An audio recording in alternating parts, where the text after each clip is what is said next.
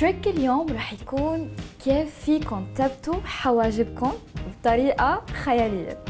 أول شي رح تحتاجوا صابون شفاف ومشط و Fix Plus بس شوفوا معي الطريقة كيف رح أعمل حواجبي بال soap.